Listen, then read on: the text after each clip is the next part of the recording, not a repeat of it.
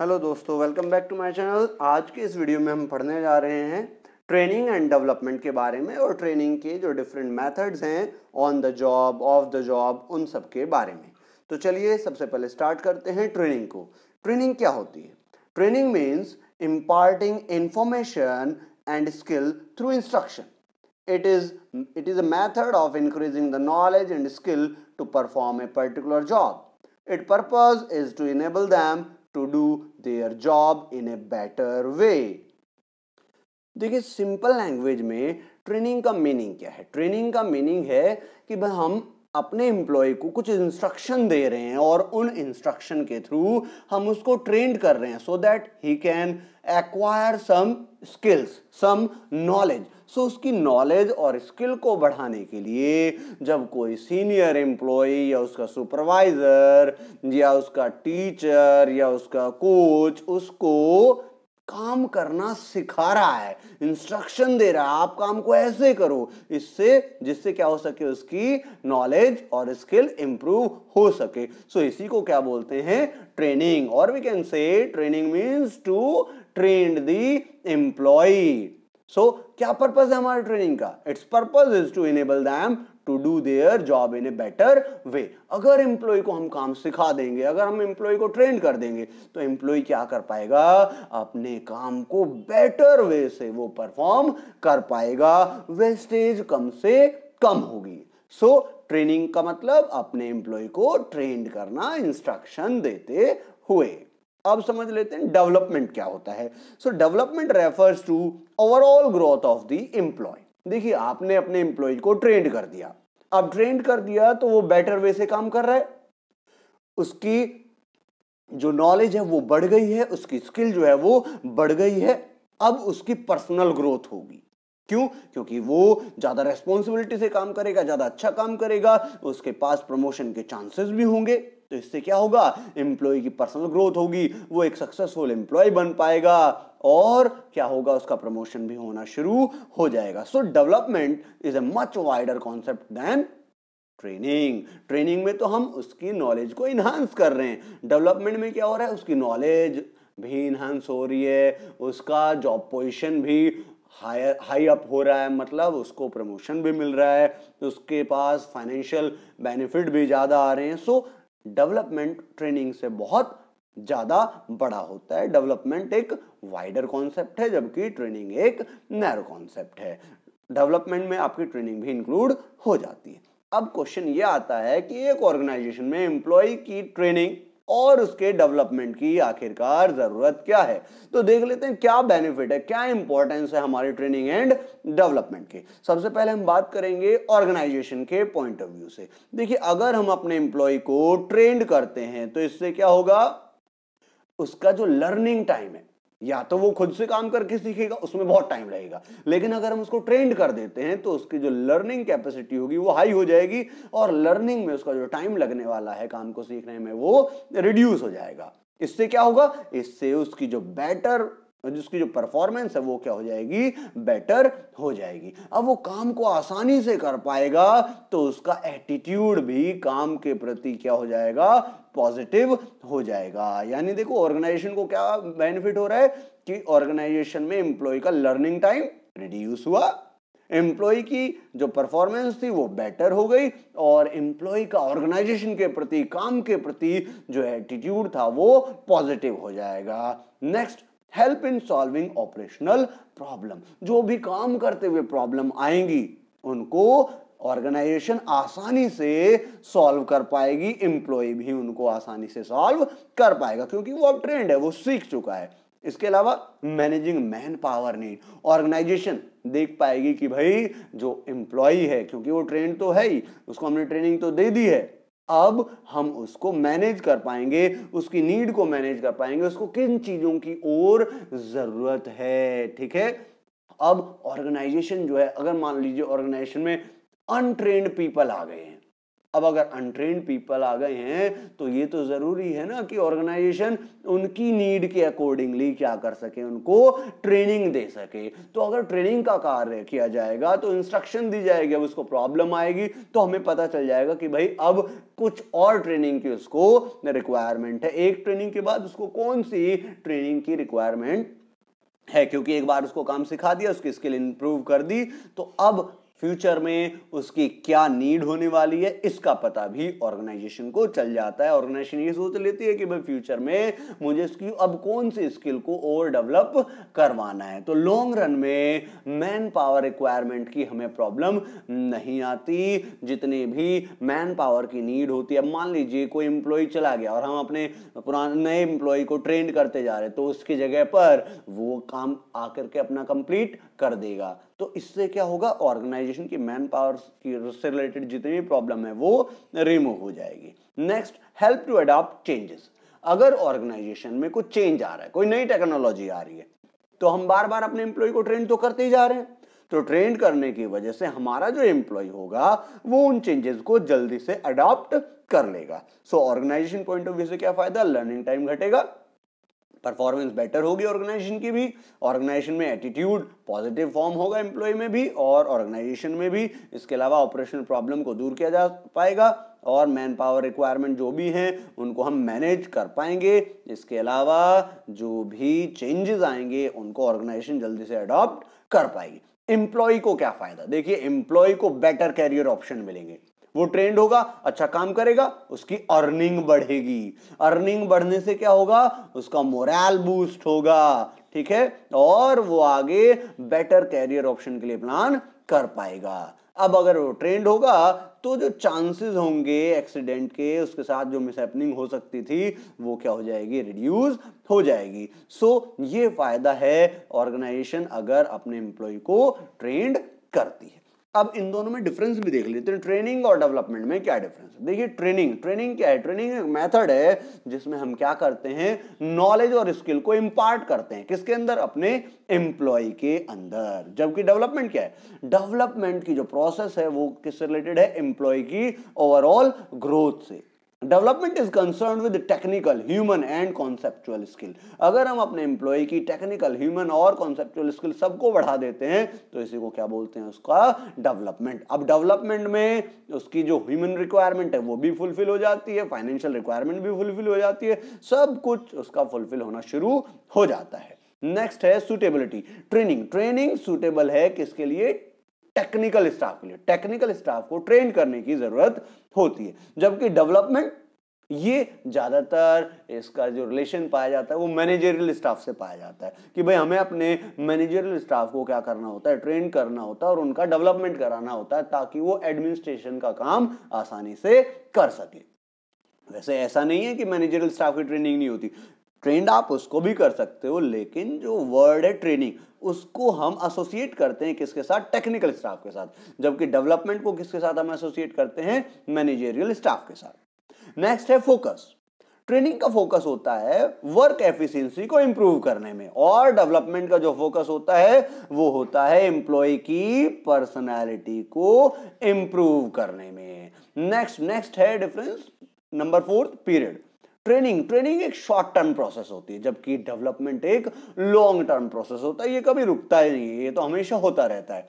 Training में method कौन सा यूज़ होता है? तो ट्रेनिंग के दो मेथड हैं ऑन द जॉब भी है ऑफ़ द जॉब भी है but in training on the job method of training है आर प्रेफर्ड यानी जो ऑन द जॉब ट्रेनिंग के मेथड्स हैं, उन्हीं को प्रेफर किया जाता है। जबकि डेवलपमेंट में in development off the job method जो होते हैं ट्रेनिंग के, उन्हीं को प्रेफर किया जाता है। नेक्स्ट है सेंटर्ड ट्रेनिंग वर्क सेंटर्ड है कि भाई काम सिखाओ, इससे रिलेटेड है। जबकि डेवलपमेंट एम्प्लॉय की ओवरऑल ग्रोथ से रिलेटेड है, इसका मतलब डेवलपमेंट का जो रिलेशन है, वो एम्प्लॉय सेंटर्ड है। ठीक है जी?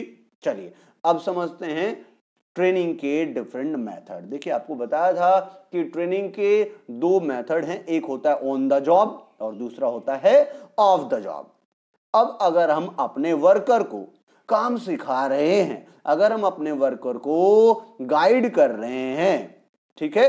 काम कर रहा है, वो जॉब पर है और उसका सुपरवाइजर काम करते हुए उसको क्या कर रहा है? गाइड कर रहा है। तो इसी को हम बोलते हैं लर्निंग वाइल डूइंग मतलब जब आप काम कर रहे हो, तभी आप सीख भी रहे हो, तभी आपकी ट्रेनिंग भी चल रही है। यहाँ पर the worker learns his work in the actual work environment यानी एक्चुअल वर्क एनवायरमेंट चल रहा है, उसी एक्चुअल वर्क एनवायरमेंट में एम्प्लॉय साथ ही साथ ट्रेंड भी हो रहा है। यानी काम पर जॉब पर काम करते हुए ही उसकी क्या की जा रही है? ट्रेनिंग की जा रही है। अब on the job training method में चार डिफरेंट मेथड हम लोगों को समझने हैं। उसमें सबसे पहले आता है अप्रेंटिसशिप प्रोग्राम्स बी है कोचिंग सी इंटर्नशिप ट्रेनिंग और डी है जॉब रोटेशन इनको देख लेते हैं, ये क्या है? अप्रेंटिसशिप प्रोग्राम देखिए, क्या है ये?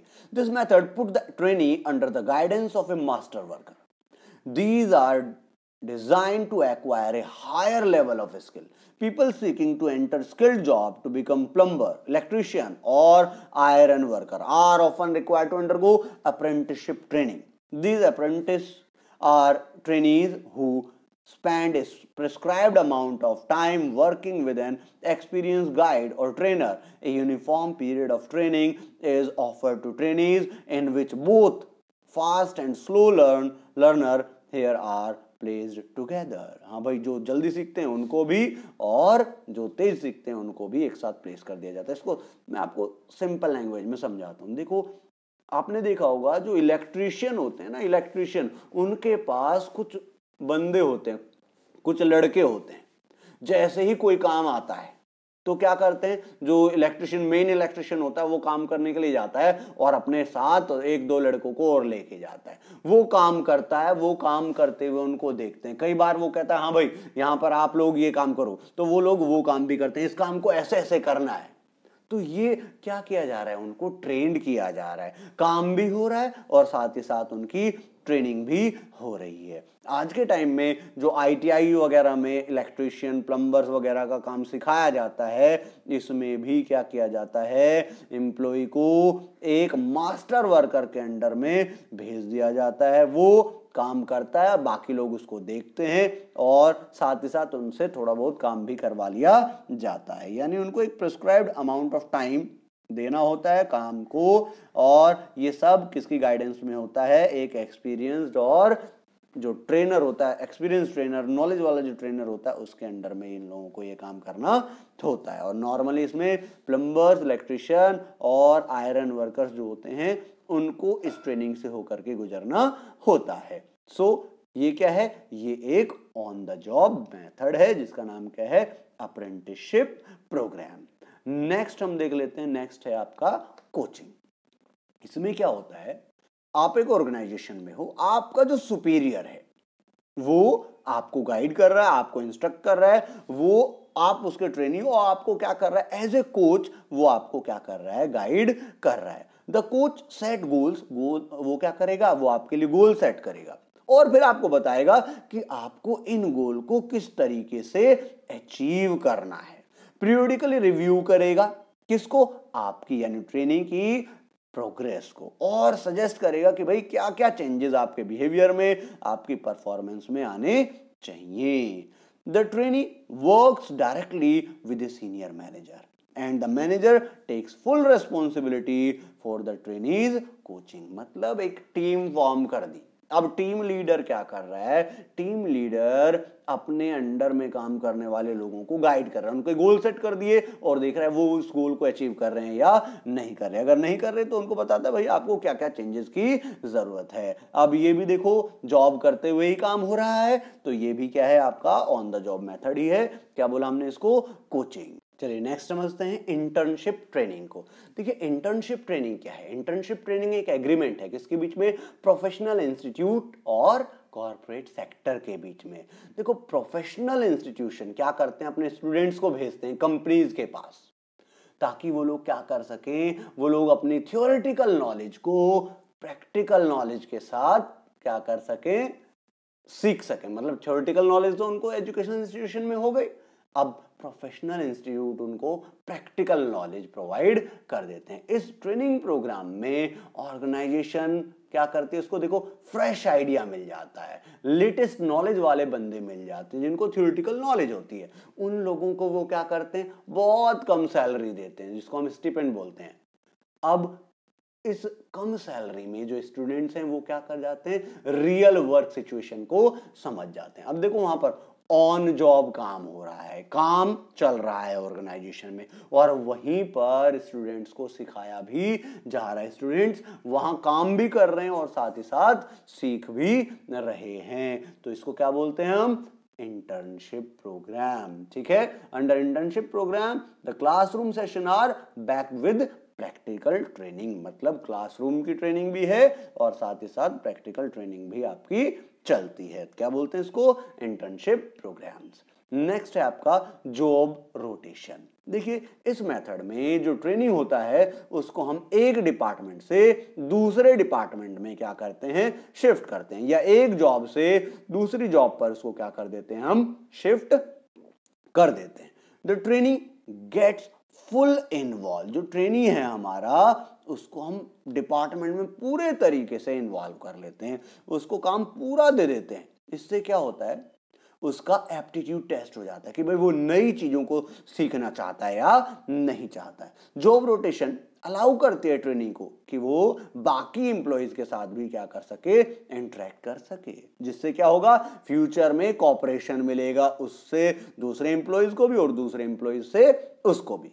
This enables the trainee to gain a broader understanding of all parts of the business and how the organization as a whole function. क्या फ़ायदा होता है इससे एम्प्लॉय को? इससे ये फ़ायदा होता है कि उसकी अंडरस्टैंडिंग ज़्यादा हो जाती है और वो बिज़नेस के हर पार्ट को हर चीज़ को वो समझ जाता है। उसको ये भी समझ में आ जाता है कि ऑर्गेनाइजेशन एज ए होल कैसे काम कर रही है। जॉब पर है बस उसका रोटेशन कर देते हैं। हम दूसरी जॉब पर या दूसरे डिपार्टमेंट में उसका रोटेशन कर देते हैं। सो so, ये चार हमारे मेथड हुए कौन से? ऑन द जॉब मेथड अब अब हम बात करते हैं off the job training method की। भाई off the job training method कौन सा हुआ? Off the job means learning before doing मतलब काम पर आप नहीं होंगे, काम से पहले काम सिखाना है आपको। मतलब क्या हुआ कि आपको आपके वर्क प्लेस से दूर ले जा करके क्या करेंगे? आपको ट्रेंड करेंगे। काम करते हुए आपको ट्रेनिंग नहीं दी जाएगी। इसमें भी बहुत सारे मेथड हैं हमारे जो हमें पढ़ने हैं। पहला है क्लासरूम लेक्चर या कॉन्फ्रेंस दूसरा film case studies computer modelling vestibule training programme instruction चलिए इनको समझ लेते हैं। क्लासरूम लेक्चर या कॉन्फ्रेंस टॉप लेवल मैनेजर जो होते हैं, वो क्या करते हैं? कई बार अपने एम्प्लॉयज़ के लिए कुछ कॉन्फ्रेंस कुछ सेमिनार वगैरह ऑर्गेनाइज कराते हैं।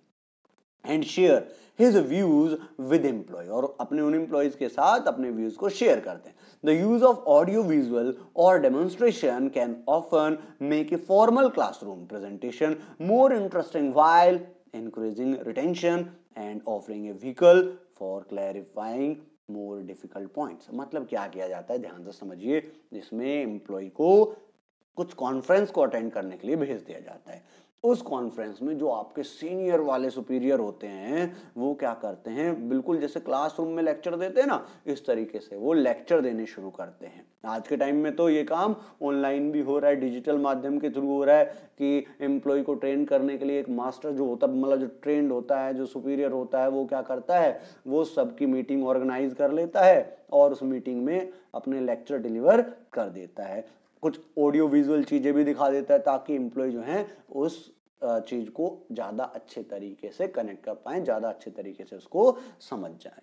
यानी कॉन्फ्रेंस ऑर्गेनाइज करा दी, उसमें क्लासरूम की तरह लेक्चर के थ्रू उनको ट्रेन कर दिया जाता है। बेसिकली उनको इंस्ट्रक्शन ही तो देनी है। अब इसके लिए क्या किया गया? उनको जॉब से तो हटा लिया गया। भाई आज की जॉब तो मतलब उनके आठ घंटे की जॉब थी। आपने वहाँ से उनको हटा के दूसरी जगह कॉन्फ्रेंस अटेंड करने के लिए भेज दिया। इसलिए हम क्या बोल रहे हैं इसको? ऑफ़ द जॉब नेक्स्ट है film showing film in conjunction with conference discussion are also very effective method in certain cases कई बार जो कॉन्फ्रेंस कराई जाती है या जो डिस्कशन कराए जाते हैं, उसी में कोई फ़िल्म भी आपको दिखा दी जाती है।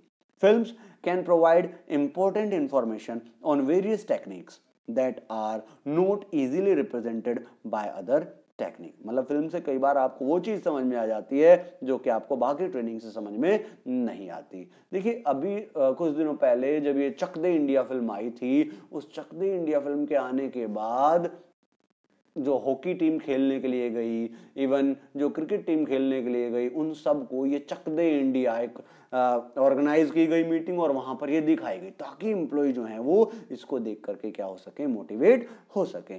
तो जब वो फ़िल्म देख रहे हैं, वो कोई काम नहीं कर रहे होते हैं, इसका मतलब क्या हुआ कि भाई फ़िल्म के थ्रू भी हम क्या कर सकते हैं, अपने एम्प्लॉय को ट्रेंड कर सकते हैं। नेक्स्ट नेक्स्ट मेथड हमारा इसमें होता है केस स्टडी इसमें क्या होता है? इसमें taken from actual experience of organisation मतलब ऑर्गेनाइजेशन का कोई पुराना एक्सपीरियंस ले लिया जाता है, या किसी सुपीरियर का, पुराने बंदे का कोई एक्चुअल एक्सपीरियंस ले लिया जाता है। यानी ये केस स्टडी दी जाती है, उसको स्टडी करने के लिए कहा जाता है। ट्रेनी स्टडी करते हैं केस को। और प्रॉब्लम को डिटरमाइन करते हैं। फिर उसके कारणों को, उसके कॉजेज को एनालाइज करते हैं डेवलप करते हैं अल्टरनेटिव सॉल्यूशन कि भाई इसके और क्या क्या सॉल्यूशन हो सकते थे। सेलेक्ट करते हैं what they believe to be the best solution और फिर देखते हैं कि ये जो मेथड उन्होंने अल्टरनेटिव देखे थे, उनमें से सबसे बेस्ट कौन सा है? और फिर उसको ही वो आगे फ्यूचर में ऐसे केसेस के लिए इंप्लीमेंट करते हैं। मतलब सिंपल लैंग्वेज में कहे तो उनको केस स्टडीज़ डिस्कस करने के लिए दे दी जाती है, पढ़ने के लिए दे दी जाती है या केस स्टडी को उनके साथ डिस्कस किया जाता है और फिर उन्हें बोला जाता है कि भाई आपके अनुसार इसका क्या क्या सॉल्यूशन होना चाहिए था। अब सारे एम्प्लॉय मिलकर के जिनको ट्रेन किया जा रहा है, वो बेस्ट सॉल्यूशन ढूंढते हैं और जो उनको बेस्ट लगता है, आगे अपने काम को करने के लिए वो उस मेथड को क्या करते हैं इंप्लीमेंट करते हैं। नेक्स्ट मेथड हमारा होता है कंप्यूटर मॉडलिंग इसमें क्या किया जाता है? एक कंप्यूटर प्रोग्राम डिज़ाइन कर दिया जाता है। जो शो करता है कि भाई रियल प्रॉब्लम क्या है जॉब की? और उन प्रॉब्लम को कैसे ओवरकम किया जा सकता है? ये जो मेथड है आपका लर्निंग का, ये क्या किया जाता है? देखो रिस्क फ्री है, क्योंकि इसमें आपके जो मिस्टेक है वो बहुत कम होंगी, ठीक है? क्यों? क्योंकि आपको रियल लाइफ सिचुएशन में तो काम करना नहीं है, जिससे आपका खर्चा ज़्यादा आएगा। आपको कंप्यूटर इंस्ट्रक्टेड एक प्रोग्राम है, उसको देखना है और उसी के थ्रू आपको क्या करना है? सीखते चले जाना है। तो कंप्यूटर मॉडलिंग भी हमारा क्या हो सकता है? एक मेथड हो सकता है। नेक्स्ट हमारा मेथड है क्या? वेस्टिबल ट्रेनिंग अब देखो वेस्टिबल ट्रेनिंग क्या है? Actual work environment are created in a classroom यानी यहाँ पर क्या किया जाएगा? एक्चुअल वर्क इन्वायरमेंट जो है, वो एक क्लासरूम में क्रिएट कर लिया जाएगा। और जो एम्प्लॉयज़ हैं, उनको कहा जाएगा कि भाई, आपके लिए जो मटेरियल लाए हैं हम क्लासरूम में सेम तरीके का होगा, ये जैसा रियल वाला होता है। उन सारे मटेरियल को, उन सारी फाइल्स को, उन सारे इक्विपमेंट को यूज़ करने के लिए उनको कहा जाएगा। एम्प्लॉय क्या करेंगे? एम्प्लॉय लर्न करेंगे। Their jobs on the equipment उन इक्विपमेंट को यूज़ करते हुए ही वो क्या करेंगे? अपने काम को अपनी जॉब को लर्न करेंगे कि कैसे करना है। But the training is conducted away from the actual work floor लेकिन ट्रेनिंग कहाँ की जा रही है? जहाँ उनका मेन काम है वहाँ नहीं। दूर ले जा करके कराई जा रही है। मान लो आपका काम है आपको पायलट बनाना है आपको आ, हवाई जहाज़ चलाना सिखाना है तो क्या आपको डायरेक्टली उस पर बिठा दें? कि भाई आपको पायलट बनना है, ये आपका काम होगा हवाई जहाज़ उड़ाना, लो भाई उड़ा लो। यहीं सिखाएँगे आपको? नहीं। इसके लिए आपको अलग से क्लासरूम बना दिया जाता है। इवन आपने ये देखा होगा लाइसेंस जो बनवाते हैं इंस्टीट्यूशन वो आपको सिखाते हैं पहले गाड़ी चलाना। तो डायरेक्ट पहले दिन आपको गाड़ी में नहीं बिठाते, पहले दिन वो आपको स्टिमुलेटर पे बिठाते हैं। उसमें आपको फील होता है कि आप रियल में गाड़ी चला रहे हो। So, this is usually done when employees are required to handle sophisticated machinery and equipment. क्या बोलते हैं इस मेथड को? वेस्टिबल स्कूल ट्रेनिंग या फिर वेस्टिबल ट्रेनिंग इसमें क्या किया जाता है? इसमें क्लासरूम बना दिया जाता है सेम मटेरियल के साथ सेम फ़ाइल और इक्विपमेंट के साथ और एम्प्लॉयज़ को कहा जाता है, इसी पर आप काम करना सीखो। नेक्स्ट है प्रोग्राम इंस्ट्रक्शंस इंफॉर्मेशन इसमें क्या की जाती है? प्रोग्राम की जाती है। मतलब छोटे छोटे पार्ट्स में इंफॉर्मेशन को तोड़ लिया जाता है। मीनिंगफुल यूनिट्स में तोड़ लिया जाता है। फिर ये जो यूनिट्स हैं, ये अरेंज की जाती है प्रॉपर वे में। लॉजिकल और सिक्वेंशियल पैकेज बनाए जाते हैं लर्निंग के लिए। सिंपल टू कॉम्प्लेक्स जो ट्रेनिंग है ट्रेनिंग है ट्रेनिंग उनको कहा जाता है कि भाई आप डिफरेंट यूनिट्स को आंसर करते हुए आगे आओ फिल इन द ब्लैंक्स भरते हुए आगे आओ। इससे वो धीरे धीरे क्या करते हैं? धीरे धीरे जब पीछे से सिंपल से कॉम्प्लेक्स की ओर जाते हैं तो उन्हें पता रहता है कि भाई इसके बाद कौन सा स्टेप आएगा इसके बाद कौन सा स्टेप आएगा इसके बाद कौन सा स्टेप आएगा। फॉर एग्ज़ाम्पल एटीएम कैसे यूज़ करना है? इसके लिए एटीएम वाले एक इंस्ट्रक्शन पहले भेज देते हैं। पहले आपको ये करना है फिर ये करना है फिर ये करना है फिर ये करना है। आप वो सारा काम करते रहो और आगे बढ़ते रहो। इससे भी एम्प्लॉयज़ को जो है ट्रेन किया जा सकता है। सो so, ये हमारे मेथड थे on the job training method off the job training method तो अगर आपको ये वीडियो पसंद आई है तो चैनल को लाइक, सब्सक्राइब और शेयर करना ना भूलें। Thank you.